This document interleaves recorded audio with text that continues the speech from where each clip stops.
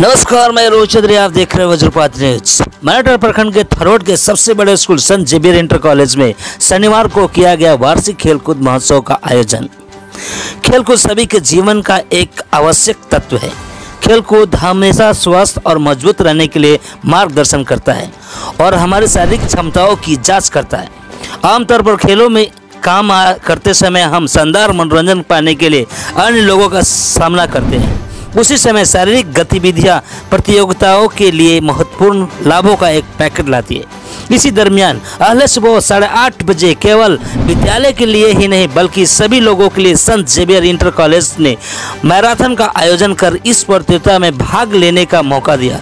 जो इस मैराथन का sponsor Sant Joseph high school Pulinkunnu Alappuzha Kerala ने किया था। मैराथन में आए फ़र्स्ट प्राइज को दस हज़ार सेकेंड प्राइज को आठ हज़ार और थर्ड प्राइज को पाँच हज़ार का पुरस्कार दिया गया। खेलकूद महोत्सव का शुभारंभ मुख्य अतिथि वीरेंद्र प्रसाद गुप्ता, विधायक सिकटा मैटर, अबैदुर रहमान, डीडीओ रामनगर, राजेश कुमार कमांडर चौलीसी बटालियन, सशस्त्र सीमा बल नरकटियागंज ने संयुक्त रूप से मसाल जलाकर किया। सभी अतिथियों को संत जेवियर इंटर कॉलेज के रामपुर के प्रधानाध्यापक फादर शिवजन एंटोनी के नेतृत्व में मुख्य रूप से स्वागत, भव्य रूप से स्वागत किया गया। और सभी गणमान्य लोगों को विद्यालय का मोमेंटो देकर सम्मानित किया गया।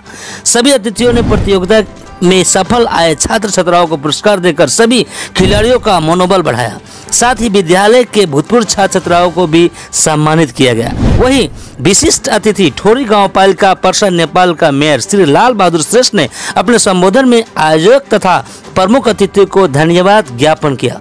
साथ ही उन्होंने ये भी कहा कि खेल जैस, ऐसा चीज़ है जो कि गाँव घर में खिलाड़ी छुप छुप कर बैठा है। उसको निकालने का एक ये भी तरीका ये भी है। उन्होंने ये भी कहा कि जब तक गाँव में कंपटीशन नहीं होगा, तब तक राष्ट्रीय स्तर का खिलाड़ी नहीं निकलेगा। ब्यूरो रिपोर्ट, वज्रपात न्यूज़, एतिया।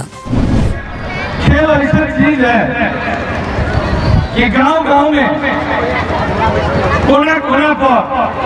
छुप के खिलाड़ी बैठा है। उसको निकालने का एक तरीका ये भी है। जब तक गाँव से कंपटीशन बना के आगे नहीं बढ़ा सकता है, तब तक राष्ट्रीय खिलाड़ी नहीं बन सकता है। इसीलिए ये जो आयोजक जी ने, जो आयोजन किया है, बहुत अच्छा बहुत खुशी हमारा लग रहा है।